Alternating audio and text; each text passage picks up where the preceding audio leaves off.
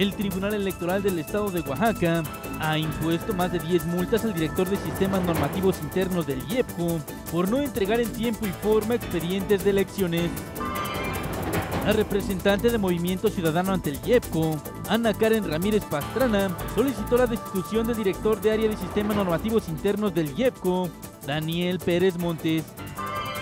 La Secretaría General de Gobierno indicó que hay seis palacios municipales que se mantienen tomados por inconformidades en los resultados de sus elecciones. Pobladores de San Juan Mixtepec bloquearon los accesos a Ciudad Administrativa, desconocen a la presidenta electa de ese municipio y piden nuevas elecciones.